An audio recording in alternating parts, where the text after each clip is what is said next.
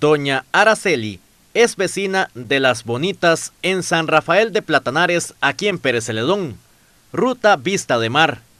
Ella tiene una preocupación, y más ahora en estas épocas de lluvias casi todos los días. Una alcantarilla se convirtió en todo un dolor de cabeza. Yo tengo un problema ahí porque la alcantarilla está aterrada, pero súpermente aterrada. Y ya yo he hablado con los encargados y nadie me, pone atención, porque hay uno como no conoce bien las cosas, entonces no le ponen atención. Doña Araceli busca ayuda con un problema que cada vez que llueve afecta a su vivienda. Que la agua se me mete toda a la casa mía y a la casa de una hija mía también se va y a una hermana.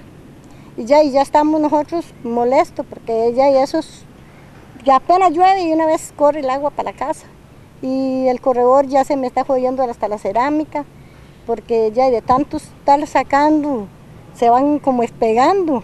Según esta vecina del distrito de Platanares, este inconveniente ya tiene tiempo.